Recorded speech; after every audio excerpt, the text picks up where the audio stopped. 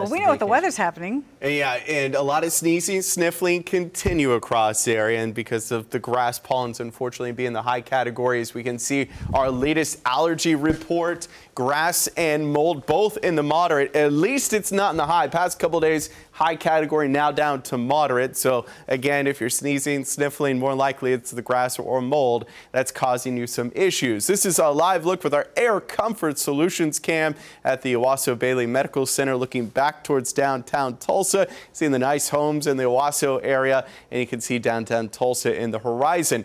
Meanwhile, if we head back to southern portion of Tulsa County, looking back to the north, just a few cumulus clouds on our Air Comfort Solutions camera network. It's 93 right now in Tulsa.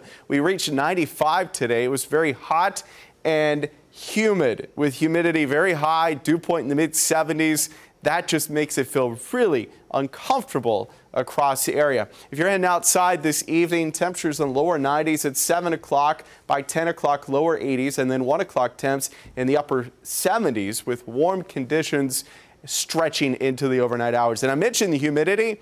This is what it feels like right now in Tulsa, 104 Pryor coming in at 100. That's the heat index currently. Okmulgee feeling like 108 degrees. If you're a runner, jogger, if you're going outside just to walk the dog tomorrow morning at 6 a.m., temperatures in the mid 70s at 9 a.m., lower 80s. Already by lunchtime near 90 degrees tomorrow afternoon. Heat index value around 3 o'clock, 101 to 105 degrees. So the heat index value, what it will feel like tomorrow, will be quite excessive. So make sure you're drinking plenty of fluids, keep yourself hydrated, and cool yourself down. So at 7 a.m. tomorrow morning, Future Track radar showing dry conditions, temperatures in the lower to mid 70s. As we head towards the afternoon hours, a little bit of a southwesterly breeze, otherwise hot and humid. Afternoon highs here in Tulsa in the mid 90s Pryor 94, Stigler 95, Rogers and Tahlequah, both the cool spots, temperatures in the lower 90s here in the eastern Oklahoma, northwest Arkansas. So outside tomorrow, partly cloudy skies, mid 90s, heat index values between 100 and 110 tomorrow.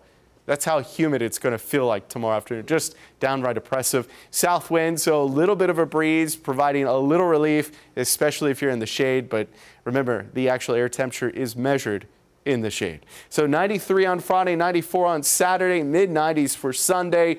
A little bit of a breeze each day with overnight lows in the mid 70s. So next couple of days, dry but hot mid 90s, and then we introduce a chance for storms as we see a pattern change evolve Monday, Tuesday, and Wednesday, upper 80s to lower 90s with a chance for some scattered showers and storms in the area. Meanwhile, we'll be sweating it out.